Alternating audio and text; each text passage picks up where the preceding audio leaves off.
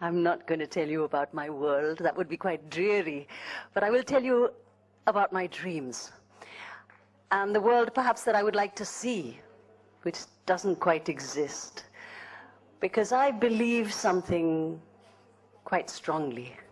I believe in the transformative powers of theater and the arts.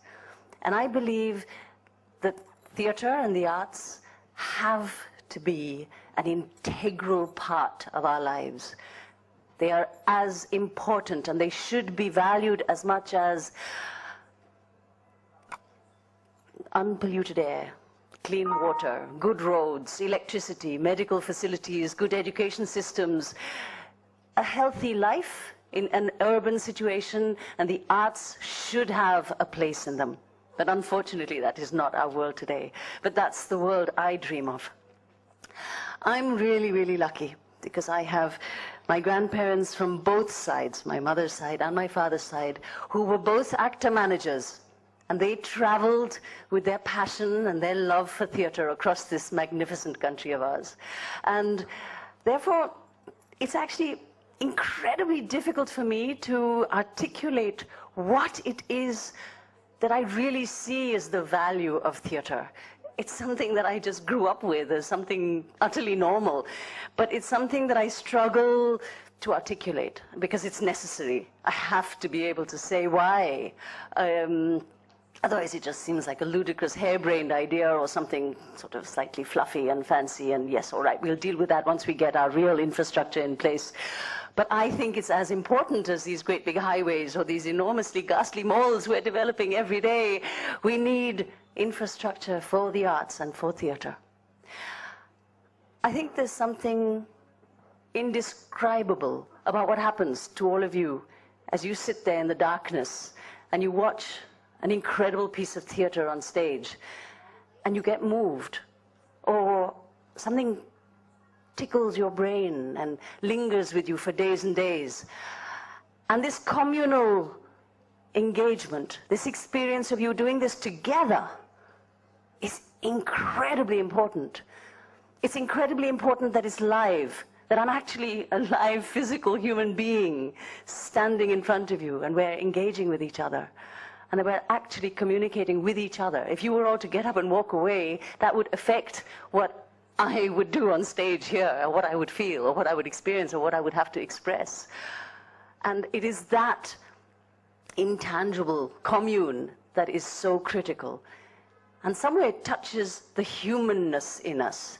And I think that is essential, and that is so important, especially today. In urban India, where we have, we're rapidly moving towards a greater urbanization of our country, with migration happening constantly, with people being pulled out from where they belong and living in completely alien surroundings, away from their families and roots.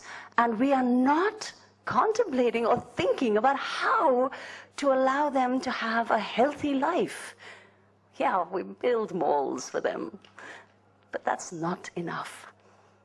And therefore, I believe it is this infrastructure and this development of spaces and platforms to pull the arts and the audiences together across our country that are most urgently required. There are three enormous inspirations for me that I've found out about in the last few years.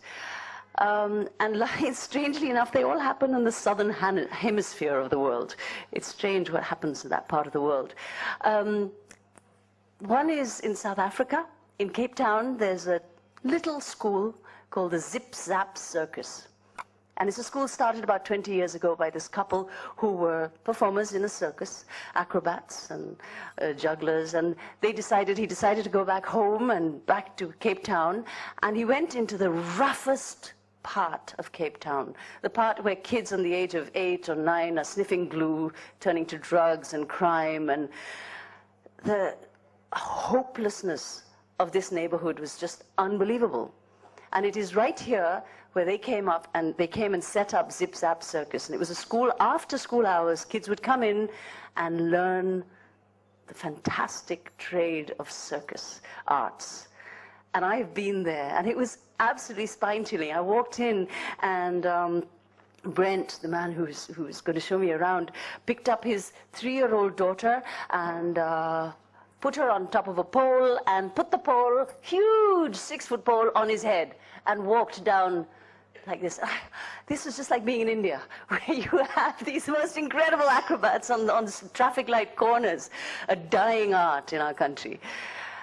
I feel very, very strongly for the circus. I feel it's, it's, it's really, really sad what we're doing with the circus in our country, letting it get completely devalued and vanished from our lives. But here, they were bringing such dignity into the lives of these children. These children today, the circus is now 20 years old. They perform all over the world. They are the most coveted uh, performers that are lapped up by Cirque du Soleil and taken even further all across the world. And they do incredibly well. And they are amazing, amazing performers. Just one man and his dream. Another wonderful, inspiring story is a story from Venezuela which you may know of, which is called, um, the, the, the, whole system is, called uh, El Sistema. Again, one marvelous man who believed in the power of classical, not only classical, but he was from classical music. And he believed he could go into the shanty towns and into the, the, the you know, the Dharavis of Venezuela, and he could teach the children music. And I think he, the first time he went in, he, he got somebody to donate him 20 violins and 20 violin stands, and he went in and taught them. And this, again, is a 35-year-old program that was then um, supported by the government and has been going on for constantly. And more and more teachers more and more trainers have come in. They've been celebrating and creating the most incredible music and musicians. This has not only impacted each and every child but it has impacted the entire society because their families suddenly now feel a sense of dignity they know who they are. They know their worth. Otherwise, they were the scum of the earth. And now today they have a sense of who they are because their children can play this magical music. And today, of course, their children are also, yet again, the most coveted, not only musicians, but um, you know, I mean, technicians and music and and and uh, for, for orchestras all over the world. Um, the other, the third great inspiration for me is again from South America. It's from Brazil.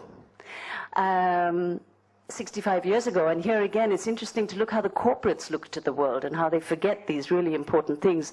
When the Second World War happened, it's an interesting reason. It's sort of not quite, but it, it does touch upon what I'm concerned about in India.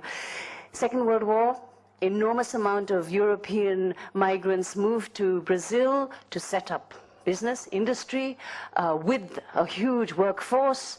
They have to create a life afresh in this completely alien land. What do they do? They decide to take assess of the salary of each and every worker and set up community centers that would deal with sports and arts. And these are called SESC. S-E-S-C. These projects still exist today and they are now mandatory by law for any business above a certain amount of income but they are state of the art. They are of the highest caliber. You have the Ariane Mnouchkines, the Cirque du I mean, the greatest, greatest performers of the world, whether they're musicians, artists, art exhibitions, uh, dancers, they go to Brazil and they tour across these centers.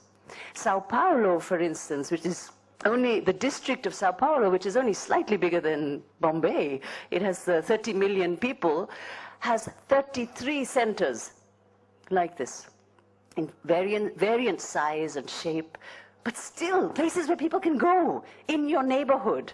It's accessible. You're an old man, you just go and sit in the library and have a coffee. You're a child and your mother wants to go and see a show, you have a, a creche for a child to be in while your mother walks through the art gallery or watches a show. They're just amazing spaces. You need spaces like this in our completely crazy, hectic lives to refresh your soul and just let down your hair and figure out who you are. But we don't have them. We have one Prithvi Theatre. That is my sadness that I go with today. A few years ago, I was reading through the INSIS or the management with a vision, and it could be done. It could be done so easily and not expensively. But we need reimaginings of the way we want to be and we want we need ways of demanding that this is the world we want i want a world where i have a son i should be able to take him to the theater every weekend i should be able to walk across and show him an art exhibition.